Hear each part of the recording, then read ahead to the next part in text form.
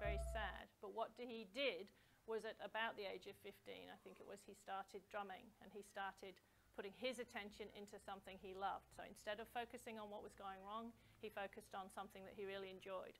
And he has gone on to make that his life's mission is to not only enjoy music and play music, but to help other people who find themselves in the same place. So he's found a solution to the problem.